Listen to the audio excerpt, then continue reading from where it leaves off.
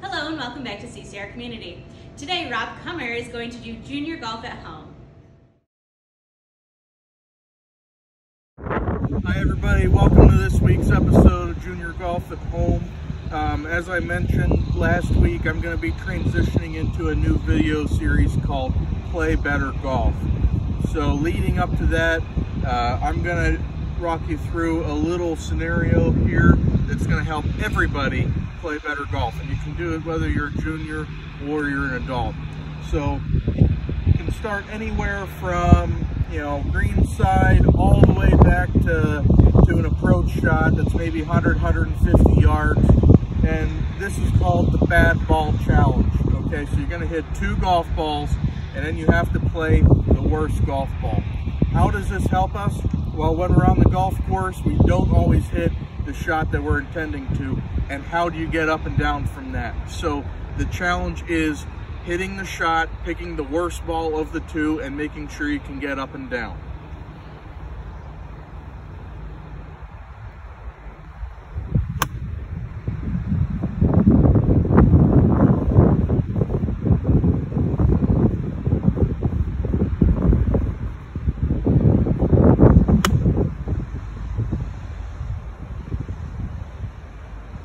Just so I can emphasize this, I hit one shot on the green and then I hit my other one long. As most of us know, whenever you hit a golf ball long, it's usually penalizing. So let's go up to that golf ball, we'll see what I'm dealt with, and we'll get that golf ball up and down.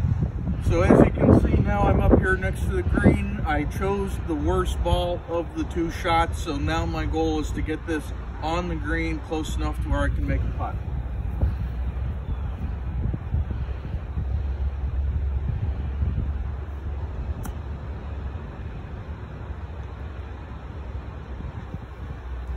Let's go knock that in. Alrighty, so I hit my chip shot. I'm close enough here for my little short putt. I'm gonna make it get my up and down. There we go. So as you can see, I chose the worst ball. I challenged myself to get it up and down. And when you're out in the golf course, you're going to find yourself in a variety of circumstances where you have to make it up and down to get yourself a par or to sit Thank you for joining me today on today's episode of Play Better Golf. Um, I hope everybody enjoys the bad ball challenge. It's definitely going to help with your short game and your up and downs going forward, and therefore it's going to help lower your score. So stick with me and enjoy this journey that we're going to be on on how to play better golf. I hope everybody stays well and stays safe in these times. See you next time. Stay tuned to the club's Facebook, website, Instagram, club emails, this YouTube channel. Click below to subscribe, and we'll see you soon.